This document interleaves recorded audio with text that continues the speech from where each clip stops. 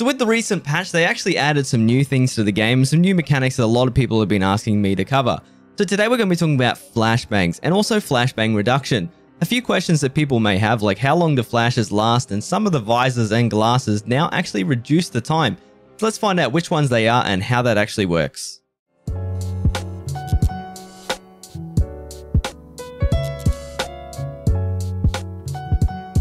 Before we get into the video here today, I do want to remind you guys, I do stream on Twitch. The link for that will be featured down in the description below if you want to watch me live or have any questions about any of the videos you've seen recently. So let's jump straight into a glasses comparison and you're going to see some things like the T glasses with 10% reduction and some weirdly enough some anti-fragmentation glasses which also give you 10% each, which doesn't really make sense. At 15% we got Pyramex, we've also got Dundux, Gascan and the M-Frame. Now, a lot of these different glasses do have some problems in game like glowing, so I would we'll get into that a little bit later in the video, but none of these are really going to do much more than 15%. It does actually get better when you go one step up to the John Lennon or the round frame glasses, here at 20% reduction. Now the two glasses in the game by Ray-Bench, the Ray-Bench Aviators and also the other Ray-Bench pair here, they're both going to be 25% reduction, which is actually pretty decent. Now it actually gets better with the crossbow tacticals, which are actually the best glasses in the game right now, with a whopping 30% reduction against flashbangs. Even better, you can actually buy these from Ragman level 2, and they are a decently cheap price, which is really strange in my opinion. I actually thought the fragmentation glasses would be better, but let's ignore that for now. Alright, so we're going to jumping into visors, and I just wanted to point out a general rule of thumb. Pretty much every glass visor in the game, whether it's a fast MT visor, Kiver visor, BNTI, Wendy, any of these are all 10% reduction, including the Zishas and so on and so forth. There are no real differences between all of them, including the Vulkan face shield, but it does get one better here when you jump up to the Caiman. You'll be noticing the Caiman actually has 15% reduction, although it is only armor class level 2, which is actually pretty terrible. It's the only one here that doesn't reduce your field of view with a higher percentage.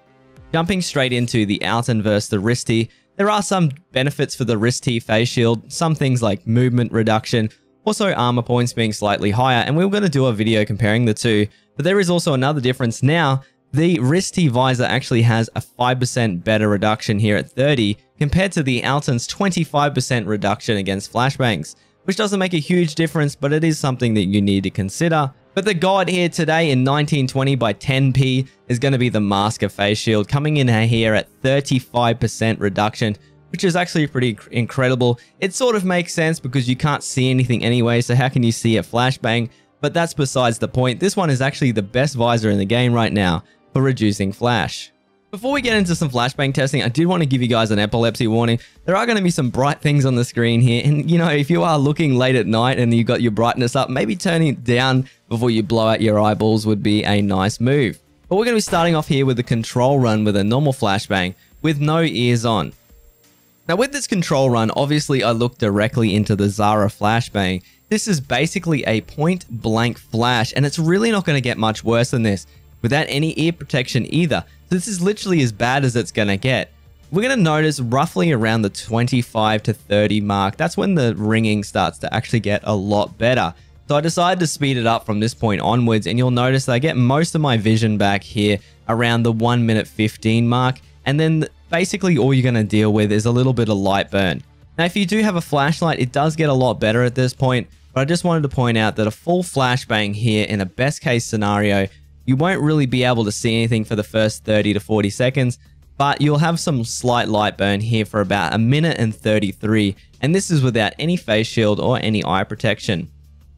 I also wanted to point out that when you do put on ear protection, whether that be razors, Comtacs, or GSSHs or anything in between, it does actually get rid of the ringing.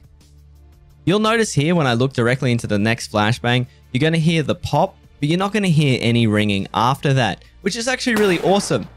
I'm not sure I 100% agree with this because in real life, when you get flashed, there would be a lot of static noises from the headset trying to catch up and also some distortion. But honestly, I think it's pretty nice to have this option in the game. That way you don't have to listen to that disgusting ringing noise. Moving away from that, I thought we'd just jump straight into the best glasses here. We did testing on all of them to make sure the times were correct. But when you look at something like the crossbow, with the 30% reduction, it is actually quite insane. Now you have to remember that that full length flashbang when I was looking directly into it actually lasted a full minute and 33 seconds.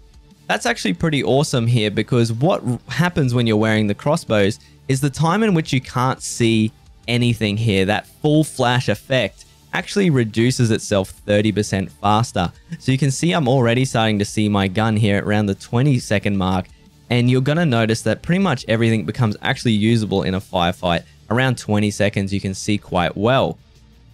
Now obviously the full flash and the light burn still going to take some decent amount of time, but that 30% reduction can actually be the difference between life or death. Now obviously if you're not staring directly into a flashbang, it'll be even better, but that 30% is something to consider. Another problem with something like these glasses however guys is when you're wearing them at night raids, sometimes they can glow in certain scenarios. So that is a downside of wearing these glasses at the same time. Alright, so you're going to notice around almost a full minute in here, it's pretty much completely gone. And around the minute and 3 second mark, we've got nothing. Now let's put on the Rys-T plus the crossbows to see if it actually stacks. This time we're around about a 60% reduction with the crossbows and the Rys-T visor together, just to check to see if the effect stacks. And the truth is guys, it does indeed stack. The only problem is once again when you're near a flashbang, because we're no longer wearing ear protection, you will get ringing when wearing the Rys-T or the Maska. But you're going to notice around the 15 second mark, I can already see my gun, and we're actually going to be able to go and fight someone a lot quicker here. This is actually incredibly crazy because if you think about it, if someone tried to KS shotgun you, even at a medium range, the time it would take for the flash to go away is actually incredibly fast. And we'll talk about the KS shotgun a little bit here in a second, but I just wanted to show you how fast it would be while wearing the Rys-T plus the crossbows, coming in at 45 seconds for a full recovery of sight. Now, if you look at the Maska plus the crossbows here at 65%, I decided to speed this one up to save your eyes, obviously, guys, but you are also going to be gaining some benefits here. Now, obviously, the Maska has terrible field of view, but the reduction in time here is also incredibly good but it's probably not worth the penalties of the visibility, and something like an Altyn or a is probably just better anyway. We're going to see 40 seconds for a full recovery while wearing the Maska plus the crossbows. We also did some testing with the see if the visor was up and it would work, however it doesn't, and we also tried putting the visor down mid flashbang, however that didn't actually change the effect. It only processes the moment the flash goes off, so if your visor's not down at the time, you can't pull your visor down and somehow cheese it. Alright, so let's jump into the next raid, looking at a KS-23 to see if it's any different. We're going to be doing a control run here with the KS-23 with star rounds. This is directly into the barrel, and I decided to speed it up to save your time. Now once again, the KS-23 obviously got some nerfs in distance, but when you're point blank, once again, you're going to be noticing that flashlight that I talked about earlier. You can definitely see the flashlight allows you to outline the player and just make them out a little bit easier, which definitely helps in some scenarios.